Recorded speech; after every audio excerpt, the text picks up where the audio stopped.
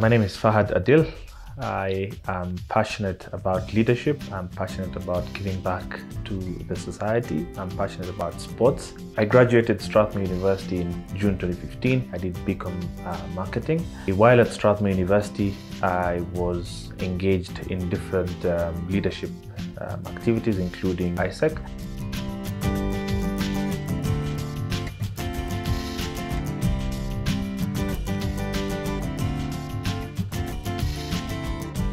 To date, I say the extracurricular activities offered in Strathmore, the quality of education offered in Strathmore, we were prepared for the corporate world. I managed to meet um, a marketing manager of Vivo Energy back in 2014 uh, in one of the um, AIESEC national conference. So in 2014, I did an internship at Vivo Energy in 2015. Um, in just when I finished my exams in March, I was called back at Vivo Energy. So I started off as an intern for two months, went on to uh, become a marketing analyst for Vivo Energy, which was um, a new role.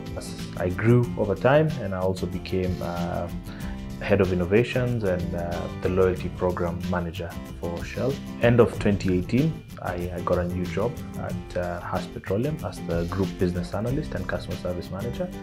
So I've been there from January 2019 to date. With AIESEC and rugby, it's made me have lifelong connections in life. Some of those connections, we're still uh, communicating, we're still doing things together.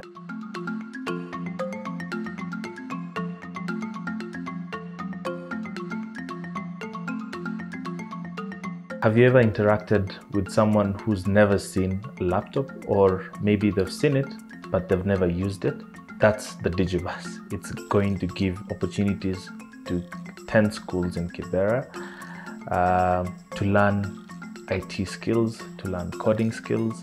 We plan to have about five classes. This bus can take up to 40 um, students per session. The impact of this bus will be 1,200 school kids per week. Um, the idea was brought about by um, the founder and uh, one of the rugby champions for Atlas Foundation, Jason Leonard, OBE, who is uh, the most capped England rugby player.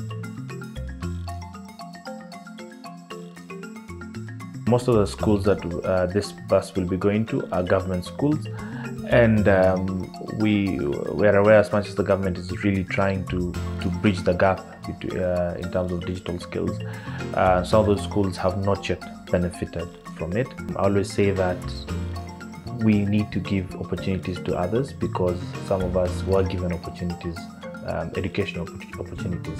I come from uh, a community in Mombasa. This is Old Town Mombasa. When I when I was growing up in our family, um, there was always this thing where someone had a solution.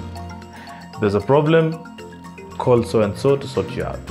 You are always a link towards sorting out a problem. Um, the trait I picked up of bringing people together to do something uh, I think, and, and also this is something that I also picked up from uh, Strathmore University, where there are a lot of problem solving questions and problem solving scenarios. So I've always had this thing of uh, bringing people together to do something for a good cause. So um, every opportunity you get, make sure you also create another one for someone else.